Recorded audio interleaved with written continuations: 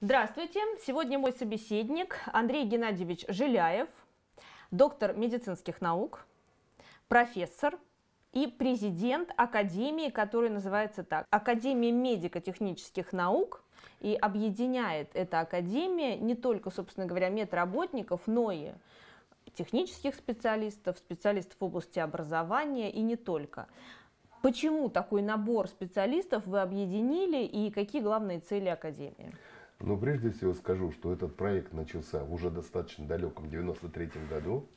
И сейчас я уже э, получил его, собственно говоря, э, в связи с тем, что, увы, но нас оставил основатель этого проекта угу. Борис Иванович Леонов, многим известный, много сделавший э, специалист в области именно медицинских технологий.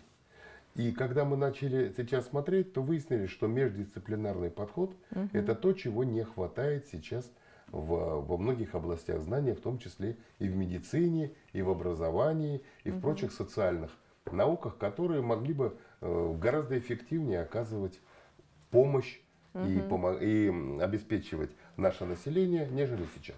Сегодня, когда ты переходишь в традиционную медицину, да, э, то тебе лечат конкретный орган. А есть другой подход, когда тебя смотрят э, вот как-то как некое цельное существо и понимают, что если у тебя болит в голове, то не всегда надо лечить голову, можно начинать лечить пятку, потому что причина заболевания там. А, вот эта тема, она сейчас как-то продвигается в рамках э, академических ваших кругов? Или такой подход все-таки остается еще непризнанным? Вы знаете, как я и сказал, Междисциплинарный подход сейчас – это перспектива, признанная во всем мировом профессиональном сообществе. Но могу сказать, что Россия здесь э, опирается на опыт отечественной медицины. Очень давно, еще со времен античности, угу. был общепризнанный э, принцип – лечить не болезнь, а больного. Подзабыт. К сожалению, нынче. сейчас, погнавшись за дутыми авторитетами, под маской иногда доказательной как бы медицины, угу. чуть позже готов этого коснуться, если нужно будет, то э, мы за 30 лет чуть-чуть подрастеряли тот багаж, которым отличались изначально. То есть мы во многих случаях угу. оказались в кельваторе гораздо менее интересных и эффективных течений. Могу привести простой пример. Да. Э, есть известная многим болезнь, к сожалению, язвенная болезнь желудка и двенадцатиперстной кишки. Так. Иван Петрович Павлов когда-то очень давно построил на этой э, болезни модель рефлекторного, то есть стрессового, по сути, э, зарождения этой болезни, развития. Угу, то есть все от нервов. Причем это было очень убедительно доказано. И, кстати, он за это получил Нобелевскую премию, в том числе за это. Угу. Но сейчас, э, лет 20 назад, всплыл альтернативный тезис, что инфекционное происхождения язвенной болезни связано с бактерией хеликобактер пилорицы. И таким образом это стало инфекционным заболеванием. Дескать, победи вот этот микроб, и болезнь уйдет. Э, когда я в Америке читал лекции, угу. я задал вопрос, скажите, пожалуйста, а вот Иван Петрович Павлов что, не знал о угу. том, почему он эту модель не взял? Угу. На самом деле он ее брал инфекционную. И в полуфинале, простите, она у него ушла в тень. На фоне. И, да, и мы это все забыли. И вот сейчас, когда начинаешь задавать вопрос, а каким образом при стрессе формируется язва, выясняется, что работы более чем вековой давности, они просто забыты. Вообще подходы э, англосаксонские, американские в частности, они не отличаются глубиной. Они навязывают нам ситуационное мышление. Угу. И это шаг назад. То есть наша медицина в свое время дошла до гораздо более серьезных обобщений. И вот, э, но менее выгодных для фармы и прочих вот, структур. Но в данной ситуации мы никогда не умели продавать. Вот э, могу сказать, что вот, опять же, достаточно часто работая в проектах, живя в реальной жизни, угу. мы можем, мы все время с этим сталкиваемся. Нас учили всему, как лечить, как вылечить быстрее, как вылечить эффективнее. Но привлекать клиентов, их очаровывать и продавать ни одного врача советского не учили. Не умеют наши Слава врачи. Богу. И наши не умеют. Может быть, это и плюс. И вот наша задача сейчас попытаться наладить взаимодействие между теми, кто создает, угу. и теми, кто внедряет эти механизмы. То есть вот и одна из задач Академии. Мне кажется, что сейчас все пациенты хотят ту самую волшебную таблетку, потому что так стереотипно, да, э, уже у нас все в сознании э, загружено. А, но никто не хочет взять на себя ответственности, на мой взгляд, за свое здоровье. Совершенно забыты какие-то элементарные там меры профилактики, здоровый образ жизни и прочее, прочее. Пациентов тоже надо как-то правильно настраивать, что он тоже ответственен за свое здоровье. Вы знаете, на самом деле, мне кажется, вот сейчас эта проблема чуть гиперболизирована. И опять-таки с позиции коммерции. Так. Если человек берется за свое здоровье, то, соответственно, он меньше приносит денег врачам и другим специалистам, фармакологам. То есть на нем меньше можно заработать. Потому что методики оздоровления и поддержания здоровья, они, как правило, не сопряжены с серьезными финансовыми вливаниями. Угу. Что прогулка на свежем воздухе, на мне регулярные, не знаю, ванны, это, к сожалению, не выигрышно в плане коммерции. Не и вот попадание да, поэтому, когда в медицину вмешивается коммерция, то смещается весь смысл существования медицины. И вот в этом случае мы сейчас находимся в очень сложной э, ситуации, чисто идеологически сложной. То есть нам надо наконец признать, что тот курс, который мы выбрали, он оказался ущербным. Давайте приведем примеры последнего времени. Ковид.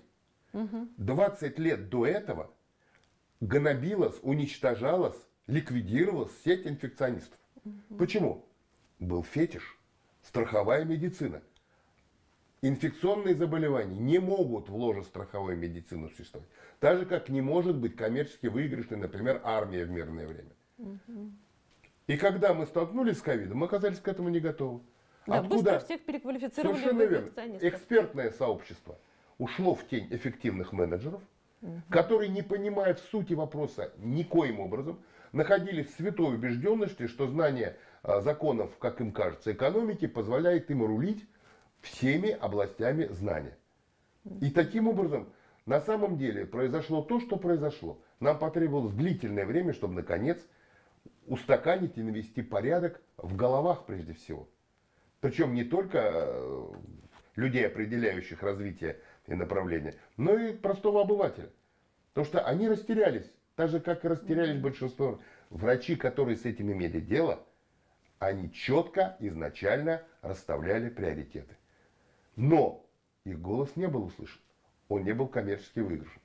Ну, пока грустная какая-то картинка складывается. Да нет, ничего грустного нет. Это наше ближайшее прошлое. И сейчас, на, на мой взгляд, вот как раз ближайшее будущее со всеми вызовами современности, угу. которые все мы знаем, дает, как ни странно, возможность отойти от ошибочных воззрений и не просто вернуться, а усовершенствовать то, что можно было бы сейчас инкорпорировать из прошлого, перенести угу. в сегодняшний день, и на этом построить будущее.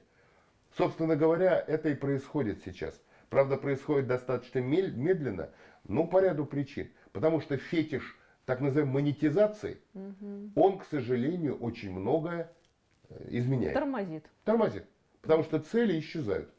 Врачу стало важнее по нынешним э, порядкам оправдаться сразу изначально за выполнение тех или иных протоколов, угу. вместо того, чтобы вылечить быстрее и эффективнее пациента. Это парадокс. На самом деле, когда-то слово шаблон, не так давно, слово шаблон звучало исключительно уничижительно ругательно. Угу. И если тебе говорили на экзамене, у тебя шаблонное мышление... Это было плохо. Все, ты провалился. Угу. Фельдшеризм были вот такие. То есть то, что сейчас превозносится как некое достижение технологичного протокола, это к медицине не имеет ни малейшего отношения. Есть те или иные уровни градации принятия решений, и вот это самое низшее, которое по, по сути применяется только с индивидуальными дополнениями. Медицина всегда была как технологией, так и творчеством.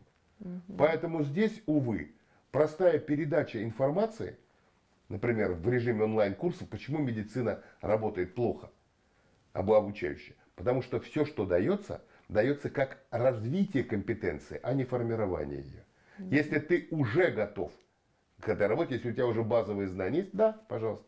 Если их нет, сожалению, онлайн-программа тебе в полной мере не поможет.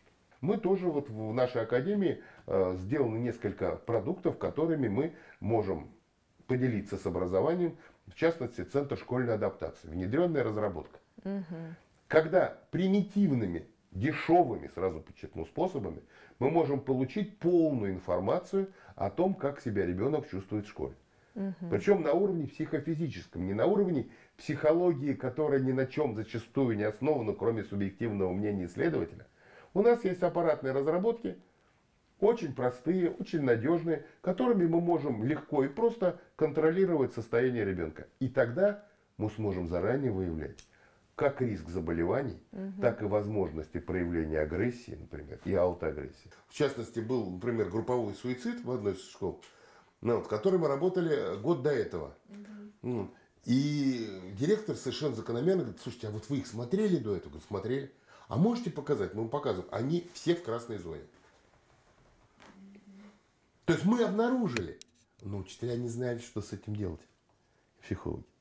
То есть вот это второй аргумент. То есть мало того, что найти феномен, надо еще его внедрить. Точно так же, как с родителями. Сейчас позиции между школой и родителями настолько натянуты. Я являюсь председателем управляющего совета одного школьного комплекса. Mm-hmm. И вот сейчас как раз мы вот с этим все время сталкиваемся. То есть это разрушены все подтексты, потому что разрушены статусы. То есть статус учителя, ну, смотрите, э, не знаю, уместно об этом говорить или нет, сейчас все статусы социальные заменили, попытка была заменить одним, понятием успешности. А успешность так подразумевалась только одна, количество денег, которые ты контролируешь. Все.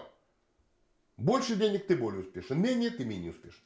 В этом плане учителя и врачи никогда не попадали в категорию успешности. То есть априори они не могут быть лидерами для детей. Совершенно верно. И более того, поскольку раз... хуже, что для детей, для родителей этих детей. И поэтому родители невольно, зачастую не, не по злому умыслу, они дискредитируют статусы в глазах детей. А дети это потом воспроизводят в школе.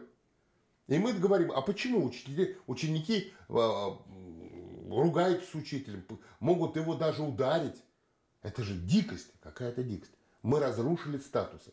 Угу. Или, к примеру, такую острую проблему, как наркотизация. То есть это тоже может быть следствием, следствием э, каких-то... Есть предикторы. То есть, вот, например, повышенная утомляемость – это универсальный предиктор дезадаптации. Угу. И выявив ее, и исследовав ее, мы сразу получаем группу риска. То самое, о чем мечтают педагоги. Но при этом мы не опираемся ни на тестовые опросники, угу. ни на какие-то иные факторы, которые имеют двойное, тройное толкование. Да. Ну, к примеру, могу сказать, вот сейчас, некоторое время назад, по инициативе возникшей в недрах образования, стали измерять тревожность школьников.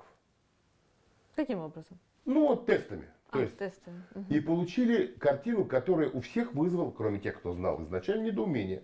Почему? Тревожность, она не, неотрывно связана с образовательным потенциалом. То есть ребенок развивается только, угу. только потому, что он тревожен. То есть он любознателен, интересующийся да, и. Но прочее. он не спокоен. Угу. Это и лежит в основе развития его. Выход за зону комфорта, как модно говорить в психологии угу. сейчас. Угу. Если же мы э, просто оторванно изучаем тревожность, то в эту группу тревожных у нас попадают отличники. Таким образом, вот это показатель того, о чем мы говорим. А вот утомляемость повышенная, у нее нет позитивного контекста. Поэтому, взяв ее за критерий мы дифференциации, мы делим детей на три группы, условно говоря. Это устойчивая адаптация, неустойчивая адаптация и дезадаптация. Вот в числе последних, ну, например, как э, вариант, как иллюстрация, как можно выявить риск наркотизации? Не знаю. Мы обследуем детей вот именно этими методиками. И мы получаем, например, группу дезадаптации. Условно говоря, 6 человек из 30 в классе. Так. Ну, например. Да. И мы смотрим, у одних детей в этой группе есть хронические, например, заболевания, то есть это скорее всего. У других есть те или иные причины, ну конфликты в семье, угу. как угодно. А у третьих нет ничего, а дезадаптация есть. Вот их прицельно. И нужно смотреть таким образом те методики, которые из-за дороговизны и некорректности сейчас никак не могут войти в школьную практику, угу. они получают совершенно понятную, понятную прописку в структуре, в алгоритме. Угу. То же самое с одаренными детьми. Когда-то... Да, им, им как можно помочь Сма- еще? Нет, смотрите, э, проблема когда-то была поставлена департаментом образования. Это было еще на рубеже 2000-х угу. годов. Как определить одаренность детей в конкретной области? Попытка взять просто победителя Олимпиады, свести в какие-то классы одаренных детей, потерпела фиаско. Угу. Через год, через два эти классы распадались дети заболевали, уходили опять-таки в какие-то негативные проявления психологические. Угу. Что сделали мы? Мы внесли понятие цены усилия. То есть дети, которые хорошо учились в каком-то предмете, выполняли креативные задачи, угу. например, на Олимпиадах, мы их до этих креативных задач и после обследовали примитивным простым способом. И смотрели, ребенок выполнил креативную задачу, и половина из этих детей, выполнивших, казалось бы, победителей, это был их подвиг. Максимум. Да, и они после этого усилия не могли 2 на 2 умножить столбиком, условно говоря. То есть они выгорели в кашу. Если таких детей признать одаренными и взять их в среду развивающую, они просто выгорят от отсеются. Угу. А если ребенок вышел лучше, чем вошел, вот это и есть та область, в которой он одарен. Вот потенциал. Есть да? потенциал. Это потенциал. И вот такие простые примеры позволили нам, собственно говоря, по чуть-чуть подверстать тогда принятый э, перечень критериев. Ну, вот, и помогли действительно э, выявить одаренность той или иной области нас наверняка спросит, чего это мы сегодня сидим вот за столом а, с компьютером и проводами, вот как ружье на сцене должно выстрелить, что это вообще, и, собственно говоря, об этом, наверное, тоже имеет смысл поговорить. Пожалуйста, значит, э, у нас есть в нашем распоряжении набор технических средств, то есть так называемые автоматизированные рабочие места, э, которые представляют из себя разработки, принятые уже на официальном уровне в качестве средств, ориентирующих при оценке здоровья, которой мы, мы пользуемся для того, чтобы оптимизировать подходы к лечению и особенно реабилитации тех детишек, которые страдают сложными для э, нас, э, как, как медиков, заболеваниями. Ну, в частности, есть, например, такое понятие, как аутизм. Да. Тяжелейшее состояние, приносящее много горя э, семье этого ребенка, ну, естественно, лишающего многих радостей детства, если не большинства самих детей.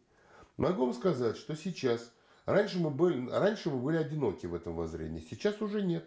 Сейчас иммунологи на нашей стороне. То есть почти во всех случаях, помимо генетической патологии, с которой сейчас вряд ли что-то удастся сделать, существует масса звеньев, которыми можно помочь этому ребенку. Например, чаще всего у этих детей есть следующее сочетание. Э, гипоксии мозга в родах, которая приводит к тому, что задерживается активация иммунной системы. И ребенок после родов такой, он должен быть изначально абилитирован, то есть сопровождать, сопровождаться теми или иными комплексами мероприятий. В чем суть? Э, иммунная система отстает в этом случае, и она активируется через 2-3 месяца после родов. Теперь представьте, ребенок живет по сути, без полноценной иммунной защиты несколько месяцев. Все это время от единственной его пассивной защиты является материнское молоко. Если его тем более нет, то тогда возникает следующее. Ребенок дышит, микроорганизмы из воздуха попадают в его организм, оседают на слизистых дыхательных путей, а иммунная система, которая заработает через месяц, через два, она признает эти микробы изначально существующими, то есть она против них не борется. И таким образом возникает, возникает вот этот дуализм причин. И это очень задерживает психическое развитие. Почему? Это интоксикация. То есть мозг ребенка подвергается хронической токсической атаке. Плюс последствия гипоксии. Все. Вот этот момент лежит в таком количестве случаев задержки психического и речевого развития. Могу сказать, думаю, эта цифра будет шокирующий. Мы в предковидный год в свое время э, в школе обследовали в рамках вот центра э, школьной адаптации более 900 э, детей. И более чем у 700 мы выявили вот эту вот комбинацию.